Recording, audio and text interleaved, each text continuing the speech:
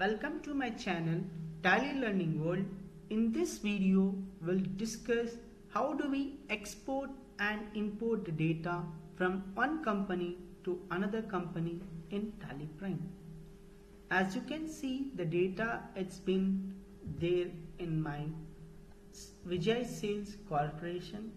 So I wanted to export this data to another company.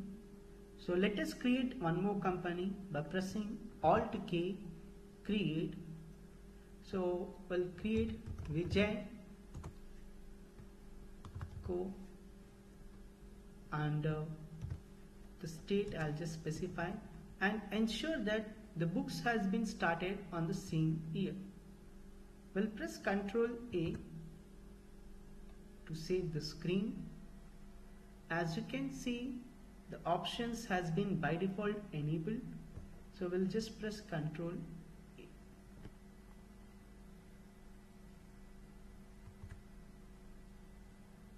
So now let us go to Vijay Sales Corporation Company and we'll try to export our masters by pressing Alt E we have option master. Note this option will work from any screen in Tally Prime. So let us select here masters.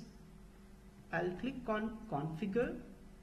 Type of master which I wanted to export is all masters and one with a dependent master to be yes.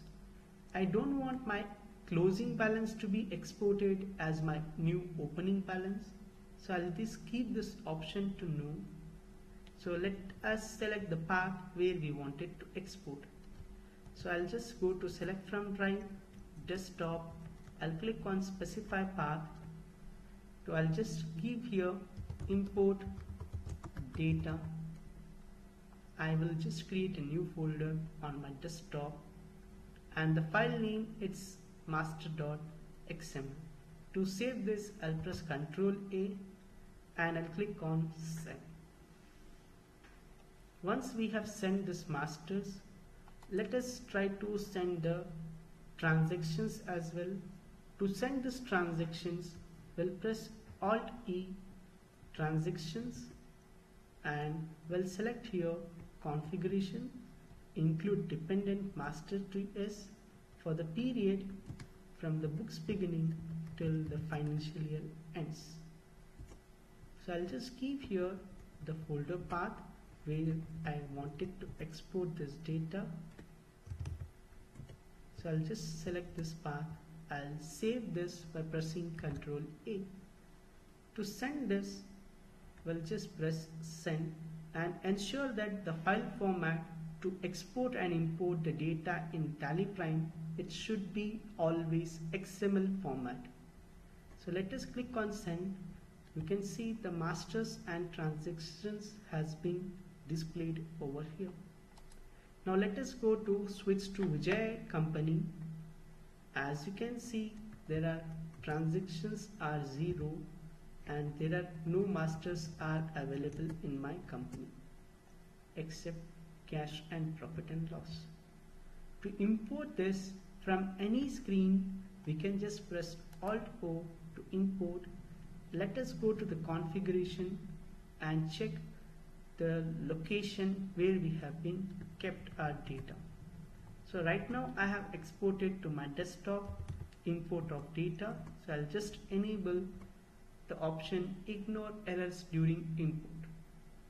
So I'll just press Ctrl A to import the data.